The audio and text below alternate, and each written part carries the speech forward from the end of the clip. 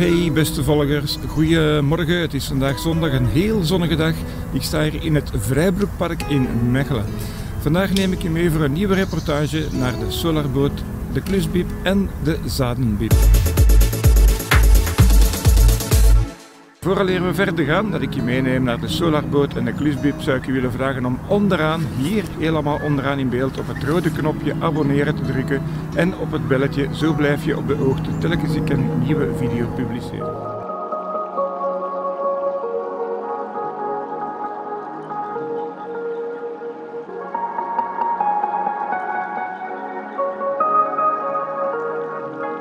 blijft een project dat ik financieel toch wel zelf aan het dragen ben.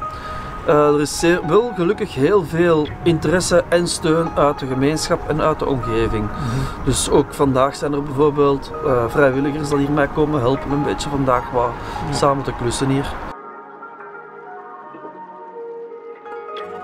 Ik ben uh, samenwerking met de Klusbiep nu begonnen. Ik ben hun tegengekomen op het internet waar dat ik gezien had dat zij werkmateriaal uitlenen zoals dat ze boeken uitlenen in een normale bibliotheek. Dus je betaalt een eenmalig lidmaatschap en dan kan je eigenlijk voor de rest van het jaar gratis materiaal uitlenen. Ik zelf ben bezig met een boot op zonne-energie te bouwen. Uh, en in de zomer vaar ik daar ook mee rond met mensen. Dus ik moet op tijd klaar geraken om die boot af te krijgen. En als ik al dat materiaal elke keer zelf gaan moeten kopen, ja, dat, dat kan ik niet dragen.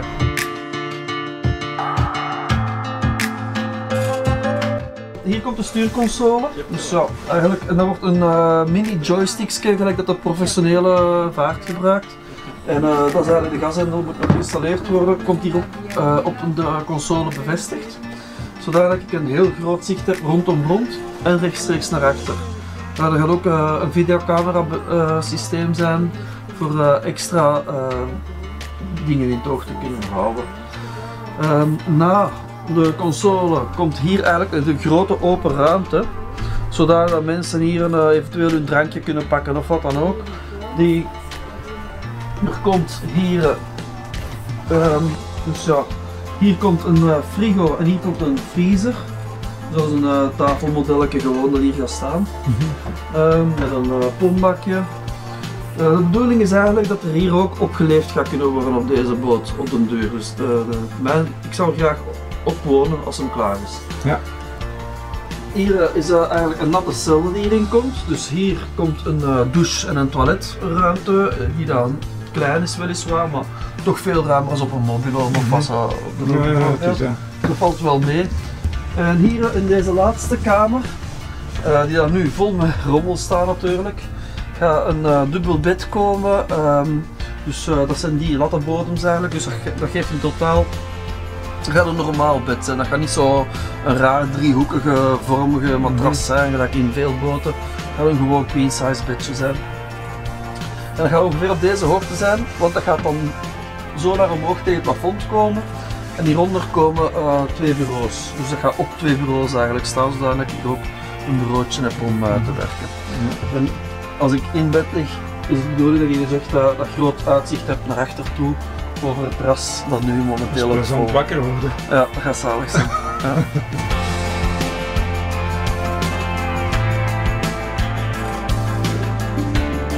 Momenteel liggen er 9 zonnepanelen op de solarboot. Dat is uh, meer als voldoende om gewoon mee rond te varen. Ik zou er graag nog meer op leggen voor nog een paar extra dingen te kunnen doen, gelijk uh, warm water en zo te maken met een elektrische boiler en zo van die dingen. Dat is een investering naar de toekomst toe. De bedoeling van de boot is ook niet van ergens zo snel mogelijk te komen. Het is eigenlijk gemaakt om te genieten van het onderweg te zijn.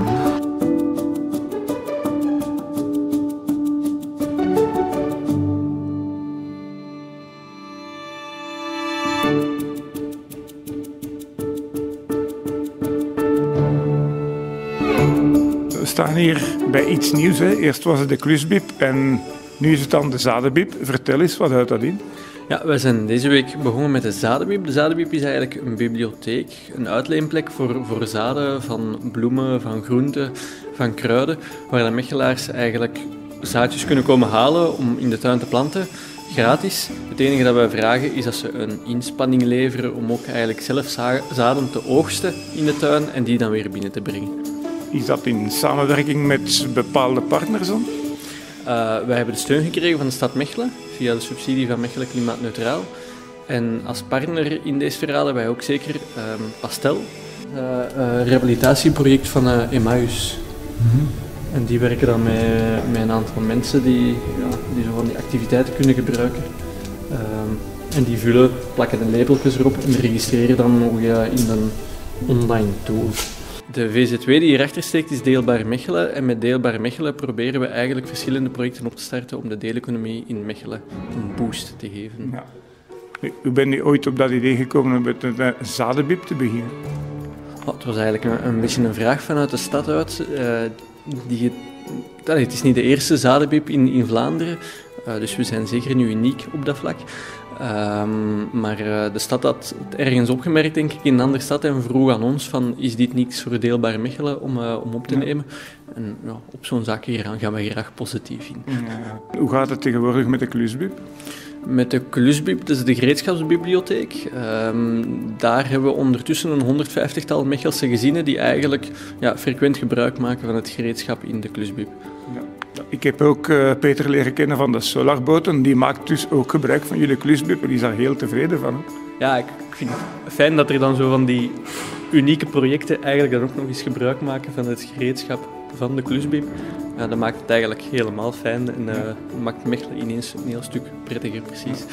Nu, het materiaal van de Klusbib, kunnen de mensen gratis komen huren of kan je dat nog eens even uitleggen?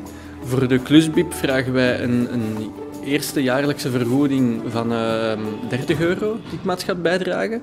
En als je nadien jaarlijks verlengt, betaal je eigenlijk nog maar 20 euro per jaar. En voor die 30 of 20 euro kan je eigenlijk gebruik maken van al het materiaal dat er aanwezig is. En hoef je niet nog een uitleenkost um, te betalen eens dat je een toestand leent. Staat er dan een termijn op dat ze het mogen in hebben? Een aantal dagen of weken? Wij rekenen op een week. Maar als mensen het langer nodig hebben en het is niet gereserveerd door iemand anders, dan kunnen ze het altijd aan ons laten weten. Um, en als het dan niet gereserveerd is, dan kunnen ze het nog een weekje langer houden.